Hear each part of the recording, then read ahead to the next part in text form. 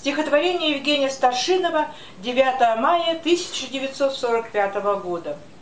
Забуду ли день тот 9 мая, От Дрездена к Праге дорога прямая, В колоннах ни смеха, ни песен, ни плясок, Лишь ливневый пот из-под скаток и масок, Да пыль над дорогой, да рудные горы, Да в сердце тревога, да горький ком в горле. Хотелось умыться, напиться, свалиться, От крови, от шума и грома забыться — помыть гимнастерки, пилотки, портянки, увидеть подснежник в лесу на полянке, услышать кукушку в березовом дыме и дома побыть хоть немного с родными. А видеть пришлось нам другие картины.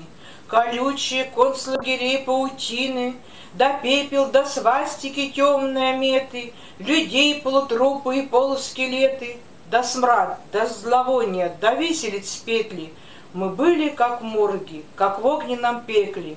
Из буя, кадыя, из кинешмы решмы, Солдаты России, святые и грешные, Мы с мира счищали фашистскую плесень, Нам было в тот солнечный день не до песен.